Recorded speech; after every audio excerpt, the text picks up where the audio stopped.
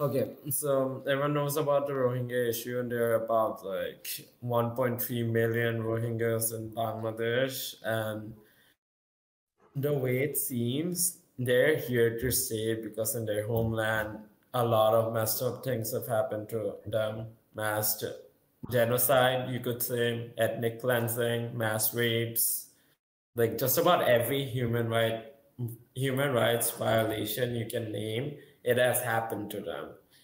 And it doesn't look like their situation is going to improve. Do you Yeah, guys think? like. I blame and condemn martial law. The killings that are happening, the ethnic cleansing, the massacre of the people there, the people of the Rakhine state is happening majorly due to the military of Myanmar who have been uh, con- in control of the country for decades. And yeah, um, Yeah. a lot of people are dying. They're being tortured, rapes, uh, and many other human right, uh, rights violation crimes are happening in Myanmar, and the people don't have any other choice but to leave their homeland and flood into their neighboring countries, in, which includes Bangladesh as well. So yeah, Sakib, that is I mean, yeah, India as well. Like they're also going into. India and Bangladesh. So, But most of the con- uh, uh, uh, a few countries didn't let them enter, but Bangladesh came in support. First of all, so we should actually be proud of that fact. And secondly, I believe it's very ironic the, that the thing happening in Myanmar. I'll just Mhm. explain why I feel it's ironic because it said that Buddhism is a religion of peace only. They don't fight. They that's what we Non-violence. yeah Non-violence. non-violent exactly but Mm. they are the ones who are promoting violence no i won't say on a large scale. I would say it could be on a world scale because every the whole world saw it the way they were killing the people. So so just because the because of the fact that they're indigenous people they are being killed on a large scale. Not only killed raped and many more pro- and many more things. So it was a, i would say it was a full scale torture that was happening Yeah, and one thing is like the government justifies it by claiming that they're Bangladeshi, which isn't true. They have been exactly there for centuries. they are a completely different ethnicity. They're they don't Yeah, they're not with their. I would like to, and I would like to add to that. Even if they, even if they were not locals, even if they are not Mayan uh, people of Myanmar, of their actual, of their you know majority lineage, why would you Even if they were discriminate? just normal Bang Bengalis, why would Why you would you torture them? discriminate against them like that? They were born Oh. there. They have been living there for centuries. Exactly. And even if they weren't, even if they weren't, that doesn't give the government the right to carry out such hideous practices on them. And I would not such say only torture. government, like no one is allowed to kill a person just because they feel they're not from their nationality or something. You yeah, could have, you could have, you could have simply asked them, Jay, you don't, you don't, you know, they could have many non-violent process, I would say, rather than just killing yeah, them on like on this Um, yeah. way. For for Guys, example, say in about see that Bangladesh, the there a lot of of Burma uh, has redeemed this as an exaggeration. Like the international community has um, asked them questions regarding this. That why is this happening in your country? Mass genocide. They've and just they're like you know, denying it. and they're denying it. To them, it's just exaggeration of facts. Like nothing of that sort is happening. Not They're even exaggeration. They're minor, claiming that nothing is minor happening. um, criminal activity. It's not a genocide. It's a criminal activity going on. Bro, I think the Myanmar government is living in a delusion. Yeah, like there's so much propaganda. They claim that all, all of the things in the media are like lies made by Bangladeshis, and that they claim that Rohingyas are Okay, Bangladeshis, even though they're like simple a question. different ethnicity with like a different language, and they don't even use the Bengali alphabet. They use like the exactly. Arabic one simple, like one simple question is that if it was made up, it was not true. Why did the UN come in support of Bangladesh and the and the and the Rohingyas? Why the UN supporting them without any reason, without any evidence? Yeah. Yeah, and also it's like I remember one time, uh, um, there was like this famous thing, uh, S- Aung San Suu Kyi, who was the um, um, state uh, counselor, basically, in informally, she was the person in charge. Her Yeah. party controlled Myanmar, and she claimed that uh, 50% of the Muslim villages, like Rohingyas are majority Muslim, as everyone knows, are Yeah. intact And this person, and this expert, I forgot his name, responded by saying, What do you mean 50%? That just means that 50% of the Muslim villages are gone and are destroyed. Is that a good thing? So you are just being killed because of a religion, how is that right? Yeah, that isn't right. called And red it's- handed. I guess Buddhism. Buddhism is the religion of non-violence, Oh, and it is one more ironic thing. She even won the Nobel Peace Prize. Yeah, for her fight against the uh, Burmese military. And guys, But that was during the 90s, if you all go back. yeah, Like, during the like the- military yeah, junta, which Yeah. is back again. exactly. And listen, guys, we should Mhm. also remember that this hasn't been going on since recently. Like, it only came into the limelight in August of 2017 because that's when um, the violence became like really widespread. However, this has been hap- going on since 1962. Or, or even before that, but in 1962, Basically, she was since the awarded Nobel independence, Prize for Peace in the in, 90s. yeah, in no, 1962, since the independence yeah. of Myanmar from the British Yeah. Empire. Yeah, the military rule began in Myanmar, uh, in Myanmar, and since then the the rights of the Rakhine population of the Rohingya population, I mean, has been were gradually being taken away. In I mean, they, 1982, they aren't granted rights. They aren't considered to be Yeah. citizens. and and- in nine, Yeah, and it's unfair because it's just because of their race and religion, whereas in a country it should be equal. Also, bro, uh, one thing which was very nice, I would say, is despite all this obsession and all these problems, they never said that we want independence, then give us independence. They never did that. They just Or want their rights. That's ne- all they want. They want to be treated like citizens because they Exactly. are. Yeah, They've been living there for centuries. and and It's it's, like yeah, and it's like they've been around for centuries. Like the Guys, we must consider the fact that Arakan was like a an independent kingdom in the Yeah. medieval medieval Yeah, century. there was Like, they constant never- warfare. There was constant warfare between the Bengal Sultanate and the Ara- Arakan Kingdom. And and one more thing their um their loss of citizenship their lack of rights was actually like legalized in 1982 when a law was passed where 135 et- national ethnic groups were identified the rohingya weren't one of them. One thing that people overlook is like in Myanmar, there there are a lot of separatist movements because a lot of races aren't aren't given due rights and they're discriminated against for and there's why there are there are a lot of separatist movements because of it. And Just a moment. they have Just been one carrying out these atrocities on other races as well, just on a smaller scale. Okay, so guys, um, remember remember Yeah. the time where the actual mass genocide was happening in Myanmar and all, and Yeah, during- two, three years ago. two, three years ago, 2017 right? Four, five years ago. Oh, Been a oh while, damn, it's yeah. been a long time, huh? Yeah, man, COVID, COVID fucked us all over. But either ways, Yeah, yeah, my memory is gone. I still Yeah, remember yeah, honestly. this one video of a little child being like tortured.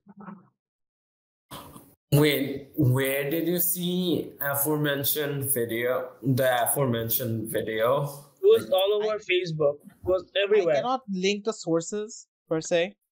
That's not what I'm saying. No one should be, no one should have to Fish- see that. yeah One should be Guys, I've seen newborn babies snatched away from their mothers and thrown away. He's a fucking crackhead. He's gonna watch it. You know him. I have my sources, but um, even Hey, go on a sadistic person, that was kind of gruesome to watch. Um, w- if Nihal said that, yeah, not Hmm? going in like guns blazing and just saying like get the fuck out of our country, that was a bad choice. I agree, but look at the latter side. It would be the same outcome, even if they went non-violent, uh, non-violently and very uh, much in a diplomatic manner. Think of think of it. Um, remember, uh, think of this, Akipur. I come to your house and just like, yo, I'm the tenant now. Just go out. Uh, honestly, that would honestly that would be the best allegory to describe the Israel-Palestine situation. Okay, yeah, true, but still, uh, you the same thing, but okay. So, Zakibu, you get what I'm saying, right? Even even even though I wasn't violent with you, you would still be like, hold up, what the fuck is wrong with you? Why are you kicking me out so early? What Kashyap is trying to say is that it's messed up how they're being forced to move out of their own homes, which their ancestors lived in, just because the, No, mil- military government doesn't consider them to be Myanmar's citizens just because they're Muslim and uh, Rohingya. Actually, there's this other reason that the August 2017 persecution was in response to Arakan Rohingya Salvation Army attacks on Myanmar border posts. I mean, that's hilarious. About that, about that, about that. It's like the reason for that is that that are the reason why some Rohingyas arm themselves is because the government just keeps on attacking them. So naturally, some of them are going to arm themselves, and But you the know, army claims that they radicalism is started because of that. claims So- of retaliation. They killed those Salvation people, like you know, Oh. those Rohingyas who were armed. ও কয়েকজন arm করছে বলে পুরো villages destroy করে ফেলবে তাই No, না they were armed because the government keeps on attacking their people. So naturally, uh, some of the some of the population is naturally going to make their own uh, militias in order because they think that That they're is defending pretty obvious. We themselves. also did the same. But if I would say it was rather worse. more of a self-defense. Yeah, but the Uh, government this claims that they were the ones who started terrorism in the country. No. I mean, it's a response to the government's actions. I But mean, the government says it's the other way around. it's funny. I mean, the government pretends, the military government of Myanmar pretends that uh, pretends that all these uh, minorities are just rebellious and ungrateful, but that's Bro, not see, true. you- they aren't No, giving if their you, if rights. you if you commit a crime, you're gonna have to cover up for it. So that so that was the excuse they used to cover up for their crime for the genocide. And bro, they're not even recognized Acha guys, the as an scenario ethnic group. like yeah, so this Rohingya person is like plowing in his fields, and out of nowhere, the military truck shows up and starts shooting at his family. That's what happened. There's no no terrorism going on here. The military started it. Um, the Myanmar government, uh, they recently, due to like the protests, everyone knows what's happening in Myanmar. For those who don't know, um, Aung San Suu Kyi, her party won the last election, so the, the military removed her and jailed her. And in response to that, there have been mass protests. And in There response to those mass protests, there have been even more fucking human rights violations by the Burmese military government. Yeah, they need a reason to like you know kill people. Like you know they're gonna excuse it for like yeah they were like being rebellious. They were causing. even need a reason. It's like they just kill some people to make an example of them. By the way, so I would like to just intervene here to share an interview, and it, this interview was published on the Sydney Morning Herald. It's an Australian newspaper. So Yeah. they, they interviewed Interview this. between whom? Uh, they interviewed this 40 year old Rohingya woman who survived the Tulatoli massacre. For those who don't know, it was the, like the first major massacre that happened in August 2017, where all of the houses were burned in the in the Tulatoli region of Rakhine of Rakhine province. So Yeah. It came They- the news. they interviewed they interviewed this woman who survived and made it into Bangladesh. She said that every night she sees in her nightmares a soldier pulling this kind of gory. So trigger warning. Every night she sees in her nightmares a soldier pulling her three month old baby from her lap, slashing open his stomach. Her her her father put a log of wood in his mouth, then they slit his throat. They killed seven of her children, two of her, uh, two of her, uh, her husband, two of his brothers, and 60, 60 of her relatives who lived nearby, like who, who were they were all neighbors. There you go. That is. So you're trying to say that that, that military so like that soldier took out like the intestines of a kid, like you know, Like slash to And open he, his and he did way more than that. Let's not oh. get too graphic Exactly. here Just because it it might trigger some people. So we've How- already gone into graphic. Let's just talk about how hateful the soldier the soldier must have been. He didn't view them as people. He just viewed it, viewed them as like cockroaches. So the problem problem was that's the way they were taught. They, were- they were being said, "Jedi, they should not kill them, kill them, kill them, kill them." Yeah, know- they were being taught that oh, they're ba- Bangladeshis, they're Muslims, and they're gonna breed like rabbits and take over Myanmar. That's their thinking process. I want to No, say one obviously it's thing. not the soldiers' fault. It's more of the it's more of the people in power who are responsible. No, no, no. I don't agree to that. Why is it not the soldiers' fault? You might be given orders, but you have the right to disobey. I disagree with Tanzim. Simply Exactly. It's about the Because even conscience. if It's you're a about your soldier, conscience. It's about your if morale. you're doing something wrong, you can rebel. Like at most, you're gonna lose your military position. Exactly. Bro, I believe the soldiers are the person they're supposed to protect us and they're the ones who are killing them. You know, yeah. the morals, the principle of soldiers no. are, should be higher than any normal person. So just I because you've been that. given the just because you've been given the order to kill mm-hmm. someone, that to unarmed, not even armed, unarmed, and you're killing them just because of your order, You obviously have the right to say no. I won't kill someone without any reason. They were not even Yeah, at at you're gonna be court-martialed. Okay, Exactly. Can I I- interject? maybe if the soldier Yeah, was given order, he could have he could have hit them, not hit. I would say you know, interrogate, interrogate them or do something else. Why kill? And that way in that manner. Yeah, and Would- I would mean that shows that he enjoyed it. Exactly.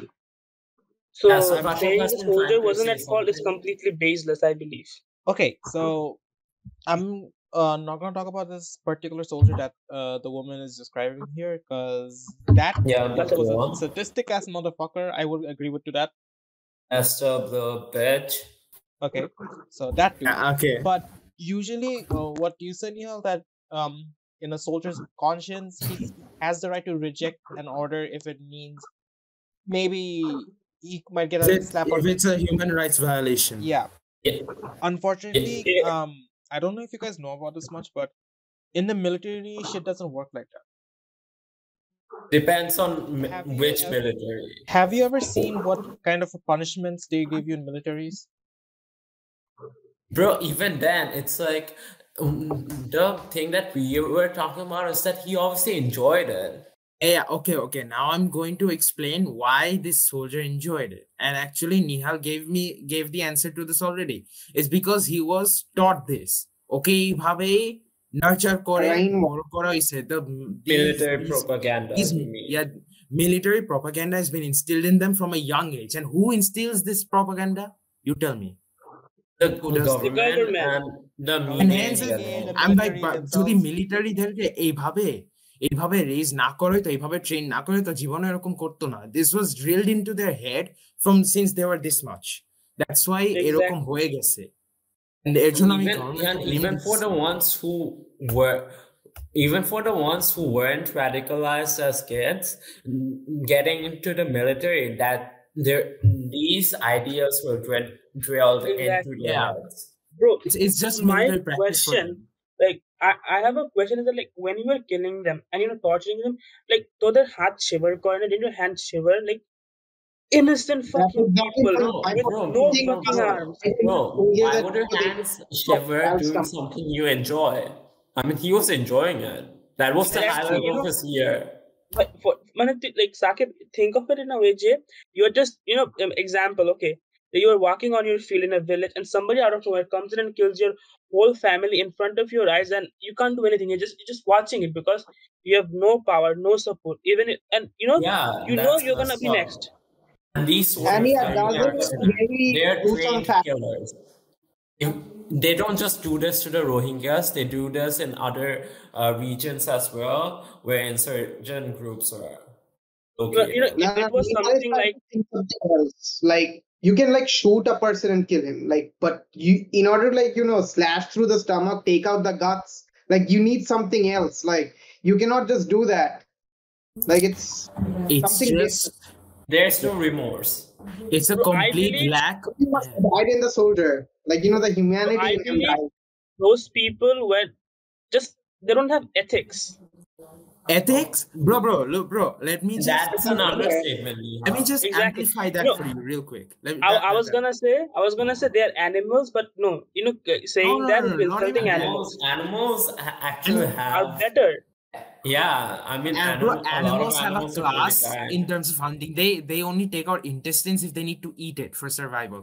তোমাকে আমি বলি it's like these people এই যারা এইসব কাজ করতেছে these people they have they are they psychologically do not have any human empathy any remorse any that the feeling that I we get disagree. They have No. empathy for people, for people On, on their view on, as for their own people. Yeah, their but own but people. That- that's not- yeah, Rohingyas yeah, that's not my humans. Hey, Like if a Guys, if, guys. a, if it was someone from a different race, they would feel remorse. But the Rohingyas, they they, they didn't view them as humans eventually after all this you know massacre genocide they were forced to leave their own motherland and go to different countries for seeking help and bangladesh was one of the very first countries to reach out to help them and since then, they are... the only country. Uh, yeah, I was just about to say. In a lot of ways, we're the only countries who are actually doing something like material. I'm not actually we're we're actually doing something physical. Like we're actually giving them space to live and a lot of them have settled quite comfortably. If it will, in maybe not the best of living conditions, but it's definitely much better no, than I would relocating them into like these islands with like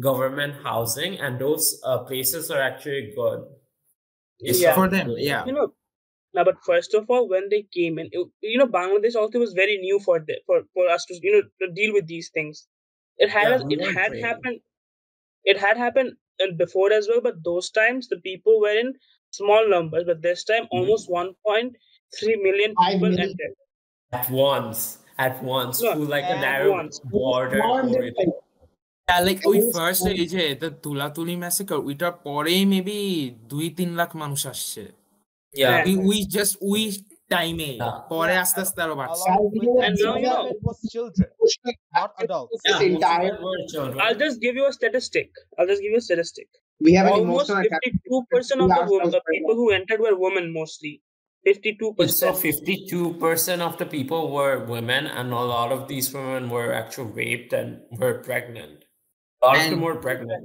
there would be men but they were all killed And you know, the thing is, if you um listen to like the Rohingya refugees talk, they don't they don't want to stay in Bangladesh. They still want to return to their homeland Exactly. because it's because because it's their their country. land Yeah, it's part of your identity. You, you do not choose your homeland. It's just what you are.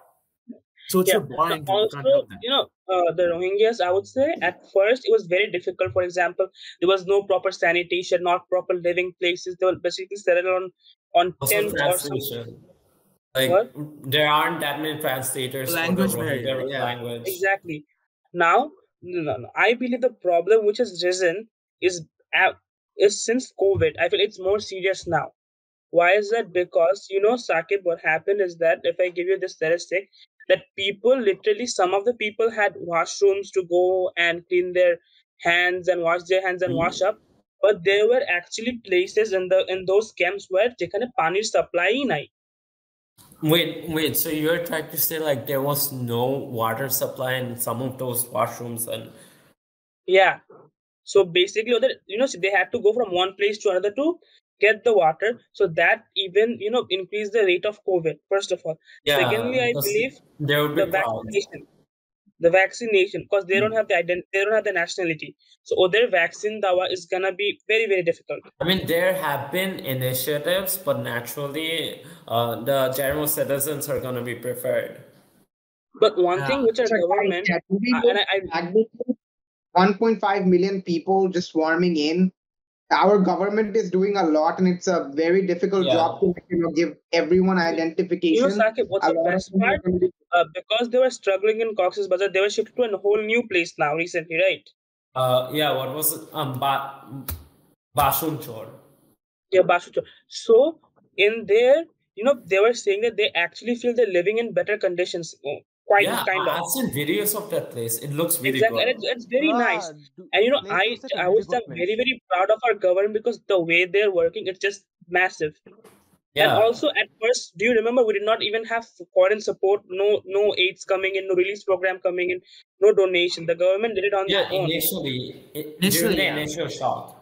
Initially, Initially, we used So I would say it was almost shit. for the first two years. I would say it was like this, or one and a half year. দেড় বছর তেমন Yeah, হবে but because then uh, NGOs came in and we got Yeah. support. Which Currently, Also, there during is a the lot COVID, of at support. first, before the donations came in, the government provided the services on their own. Yeah, That's something we should actually appreciate and be proud of.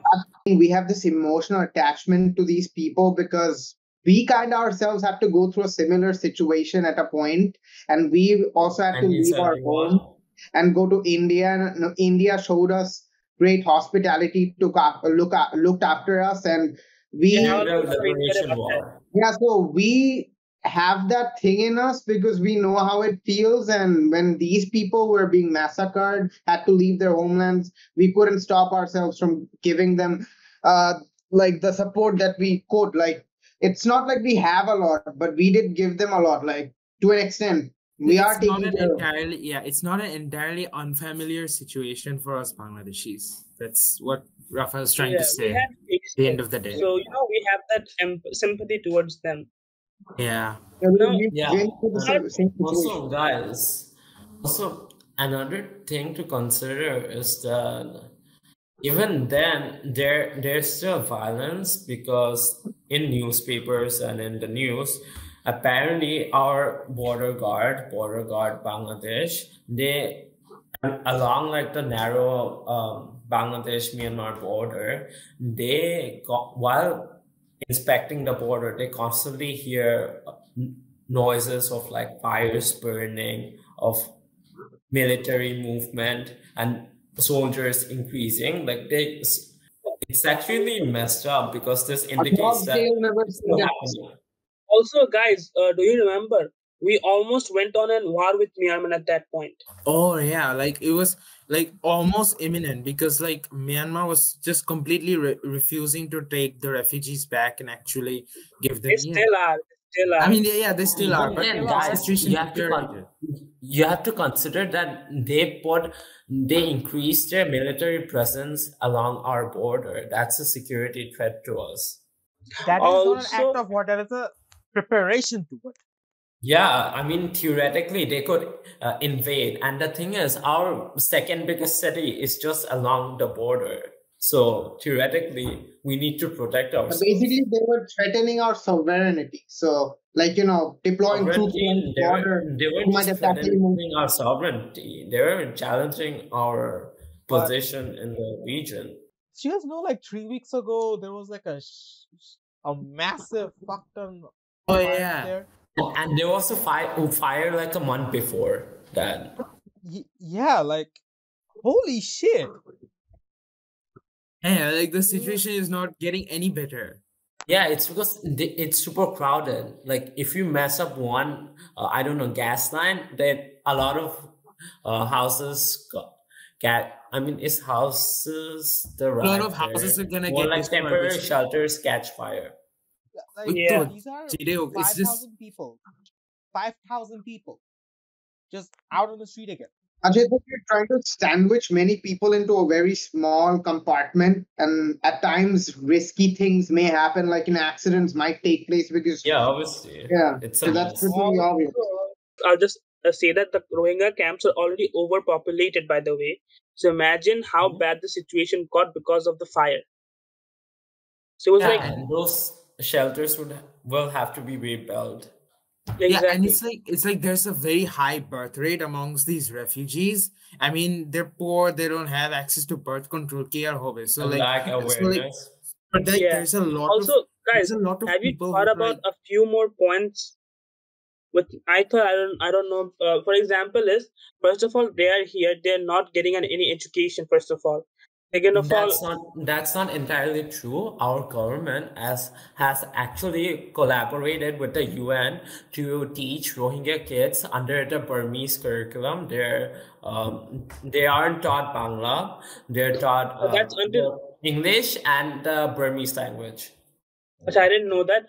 But but have you seen one thing? Uh, uh, the thing Sakib just said that the government, Bangladesh government is are actually teaching them their culture. So which Yeah, is very obviously. What's that word? Yeah. It's It's, very, very, Uh, it's, it's it's a really good gesture, Ki. Exactly. not- I would say an excellent gesture. uh, like we are we are teaching them so that they can go back into their country and become uh, rightful citizens of Myanmar once again. We are which, not. uh, Okay. which they deserve. One thing I, I think I should, I should have said Age, but I would like to add is, you know, many of the Rohingyas who entered our countries, some of them actually belong to aristocrat families who were well-to-do, educated. Even they were sent out. Yeah. They were killed. Yeah. bro So- yeah like it they didn't differentiate between who was wealthy and who was poor they were just So, Out so of the country. basically, they just hated the race. They just wanted Yeah. to finish them, and that's just disgusting.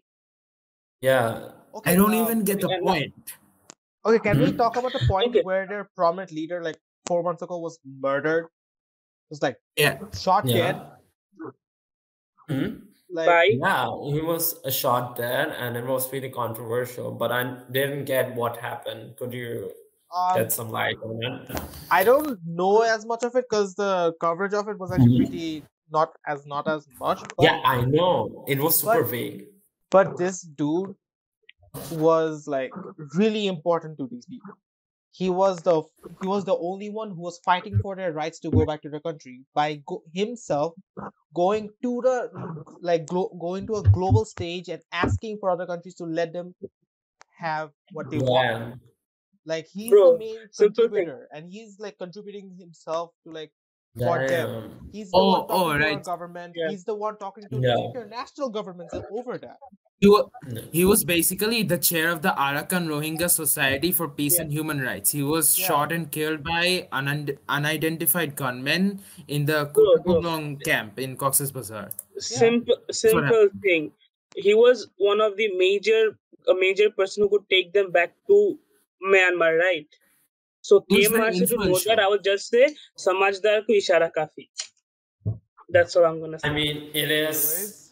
I mean, the answer is obvious. I'm not. Obvious, names, exactly. But who benefits also guys from this? you know tell we were talking also guys we should also talk about the few problems that the rohingyas have caused too caused us although I i, mean, won't say very there are going to be costs. I mean, we we are a relatively poor country. We're at most lower middle income, and supporting we- 1.3 extra million people is it's very Because difficult it's a I mean, huge jhamela to but yet we are doing it but still it's difficult also you know so, uh, do you guys know that uh, rohingya was caught with 8 lakh pills of yaba by a police Holy officer shit. Uh, I mean, uh, guys, just in general, Myanmar is known Known in for drugs. the, the entirety of Southeast and South Asia for being a hub for like drug traffickers, and a lot of our pills, like Yaba, comes from Myanmar. And and, And- the and- thing is, Hello? these Rohingya Am I audible? yeah you're audible go on Yeah, and the thing is, these Rohingya people, a lot of them are like, um, I mean, let's be honest, they have no possessions, they're poor and they're desperate, and traffickers might also also naturally use them as so my as potential customers Uh, also to the last Oh, point, I that's would like to one more thing. Uh, you know, also recently, uh, the police captured 53 metha, uh, metha, what this, methamphetamine methamphe- methamphetamine Methamphetamine. pills, Methamphetamine. and there were 300 suspects out. that's that's basically basically meth that's that's the Yeah. full form of meth Yeah, so there were, uh, so they got 53 million pills. Hmm. Can you imagine the number? And 300 suspects were caught, out of which 40 were from the Rohingya camps. with like with all of the influx of the refugees it's easy it's very easy to just disguise as some poor dude and you know uh keep a sack of drugs in your sack in like your back pocket or something and Or just in be the like oh আমি car. একজন রোহিঙ্গা আমি একজন Rohingya I'm desperate please আমাকে ক্যাম্পে পাঠাও like smuggling Oh, becomes obviously, trying to say that the obviously, criminals, drug like- traffickers are going to take advantage of this. Yeah, the Yeah, traffickers exactly. So it's, use it it's for the basically the people it's basically Yeah. the people of our country who are trying to you know uh, disguise themselves and get them caught. So it's eventually ruining the reputation of the Rohingyas. So already the people who are suffering, we are making them even more suffer. And, and it, it it propagates racism. Exactly. But recent, but recently just one more point is mm-hmm. that now the government are actually securing the camps so that no people can invade and you know cause them problems yeah security is improving and another thing is um, because of the rohingyas um, you know like our national id card and like um, official document verifications have become even more it takes a lot of trouble. Yeah because a lot of rohingyas they uh, they ran away from accept, the camps yeah. they eventually accept that in myanmar they have no future because of obvious reasons. So a lot of them try to get citizenship. Honestly guys the future for the rohingya people looks dark because of geopolitics. I mean, Myanmar, or although they aren't relatively strong diplomatically, they, they're backed by China and even India. So, and those are the two biggest regional powers. So naturally, a small country like Bangladesh cannot do anything. We are trying to get them to, you know, take their own people back, but it's difficult. And and honestly, I don't see the Rohingya people returning. And even if they return, guys, guys, as, as we as we mentioned earlier, that Bangladesh is not that rich of a country. We are striving towards our towards development and a better infrastructural situation. We have improved and we have shown humanity brought in these people who were being tortured in their homeland. But I don't think it's a sustainable situation that we can like you know think long term and keep them forever because like you know it's taking a toll on us like eventually we will struggle yeah. to like you know yeah it is taking a toll even, even if we do struggle to um, provide for them we cannot kick innocent people out and send them back to a place unless their security has been um, verified until has been isn't showing any uh, response and they uh, according to me don't have an attitude of taking them back because they never wanted them in the first they're, place. they're claiming that they want uh, to they want our government to make a list of the people who are there so I feel like it's uh, just bureaucratic that, that is just a strategy to delay the delay the sending yeah. back of the refugees because that is going to take a long time. And even in the UN, we cannot do anything because, as I as we have mentioned countless times, we aren't that rich or powerful or like I mean influential diplomatically. So, I mean, yeah, but like yeah so we cannot we cannot we cannot force myanmar to do anything because myanmar is strategically important for both india china and those are the two biggest regional powers in like the neighborhood. Yeah and also but like but like i don't fully agree that we can't do anything in the un like i'm bully i'm talking bully if we could get the support of uh, major countries like the uk the us turkey turkey a lot of turkish um a lot of Turkish organizations, NGOs are, are already on ground in Bangladesh. They're and, helping us out. And also and, uh, the European Union, there have been yeah, a lot of like yeah, Western so like European NGOs. so like they could support us in like the UN General Assembly, and hence we could possibly put at least a certain extent of international pressure on on Myanmar to hopefully take back the refugees. So like there, not all hope is lost, but like it's not going to be an easy road. Proceed. The help is coming. Also, the UN sec- uh, secretary is in our support. I think recently, which Naturally, I he's in the support. He the UN even supports. Uh, he you know guys he even quoted this line He yeah. even quoted just genocide begins with the killing of one man, not for what he has done, but for what, but because of the person who he is. For his identity. Hmm. Yeah. Also, you know, uh, you know বাংলাদেশের মানবিক you know the মানবিকতা বোধ যেটা বাংলায় বলে is very high and that's the only reason we know we are going to struggle in the future there is no doubt yet we are supporting them yeah and also don't you think it's funny that in europe uh, for example during like the syrian refugee crisis a lot of european countries were uh, you know angry and refused to take refugees like small amounts Despite of the fact they're refugees, very well developed. yeah, Bro, they could easily taking, like, support, like- 1.3 million refugees. Bro, these the European countries could easily support at least like five hundred thousand refugees. At least, Also, maybe 500, a million. At a least, million. yeah, at Also, least guys, million. The large one. also guys, one more thing: the European countries, uh, uh, quite a few of them are already underpopulated, by the way, and we are overpopulated. Yet we're supporting, and despite being underpopulated, the countries didn't support them at that point. Honestly, I'm really proud that even in a world where a lot of we- rich European countries whine a shit ton about having to take refugees, we just randomly took in like 1.3 million people and probably more because it's hard to, you know, It's hard to keep verify. count. Yeah. Exactly, and and, we're they are not also doing a gonna bad give job. birth, and they're gonna pop up, you know, give birth. So that's gonna increase. So we can basically say যে the developed countries যেটা করতে পারে বাংলাদেশ ওটা করে ফেলছে without backing at first. I know we've repeated this quite a few times, but the reason that we are repeating this is because it's actually a very big thing. Like when when all of these rich Easter, all of these rich European countries are refusing to take just a few hundred, maybe, or a few thousand refugees, we A lot of the time, just like 20, 30,000 refugees. yeah, Yeah, and and like we're for them, handling some- in millions at this point. yeah, And Yeah. since the start, we have been doing it. and for just and for the Phenomenal, moment- I would say. And at the moment, like for now, the situation is not too bad. Like they're mostly under control.